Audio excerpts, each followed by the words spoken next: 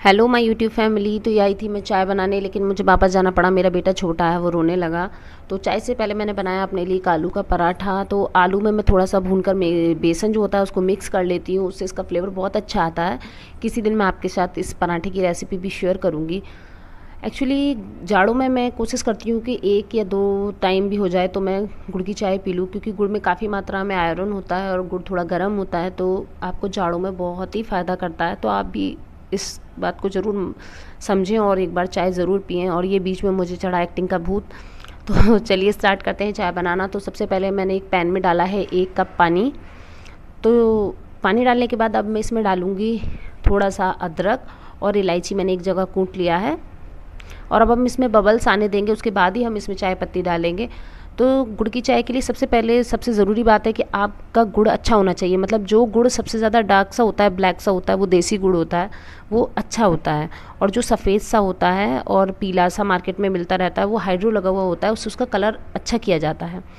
तो ये मैंने डाल दिया आधी चम्मच चाय पत्ती, एक टिप ये दूँगी मैं आपको कि आप गुड़ की चाय में थोड़ी पत्ती हल्की रखें, उससे क्या होगा कि कलर उसका जो है गुड़ से मेंटेन हो जाता है और फ्लेवर भी। और ये डाला है मैंने गुड़, मैं डली वाला गुड़ डाल रही हूँ, अगर आप क्रश किया हुआ गुड़ डालते हैं तो आप दो चम्मच गुड़ डाल दीजिए।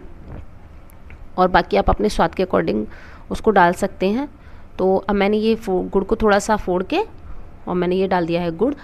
अब क्या होगा कि मैं गैस के फ्लेम को बिल्कुल लो रखूँगी, जिससे कि चाय धीरे धीरे बने, वरना क्या होगा, गुड़ रह जाएगा और पानी सारा जल जाएगा।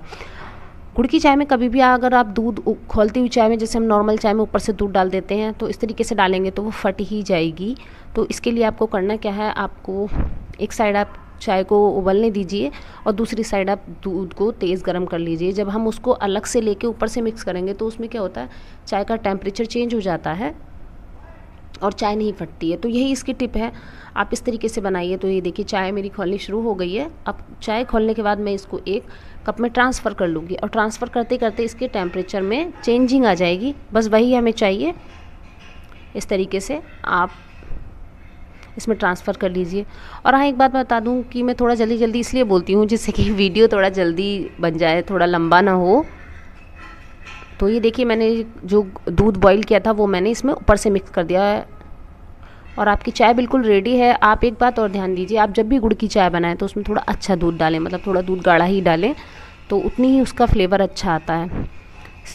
एक चीज़ और बताती हूँ मैं आपको, अगर आपको गुड़ को टेस्ट करना है तो ये देखिए, मैंने वही फ्राई पैन जिसमें चाय बनाई थी, उसकी पत्ती को निकाल दिया है और वही चाय जो मैंने मिक्स करी है, अब मैं इसको इसमें ट्रांसफ़र कर दूँगी।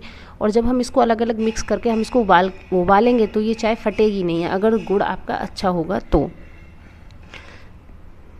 जी देखिए, अब मैंने उसी चाय को दोबारा उबाल कर आपको दिखाया है। तो ये गुड़ जो है देसी गुड़ होता है या अच्छा बोल सकते हैं आप। तो ये देखिए, ख़राब नहीं होगी चाय। तो इसीलिए आप हमेशा जब भी चाय गुड़ की बनाएँ तो उसको अलग अलग मिक्स करें और बाद में उबालने के झंझट में ना पड़े, उसको ऐसे ही पी लें। बहुत अच्छी बनेगी ये देखिए, चाय बिल्कुल नहीं फटी है। तो जो थोड़ा डार्क कलर का गुड़ है, आप उसको प्रीफ्रेंस दें। तो चलिए चाय को ट्राई कर लेते हैं। सच में चाय बहुत अच्छी बनी है। अगर आपको वीडियो अच्छा लगा हो तो लाइक, शेयर ज़रूर करें। चैनल को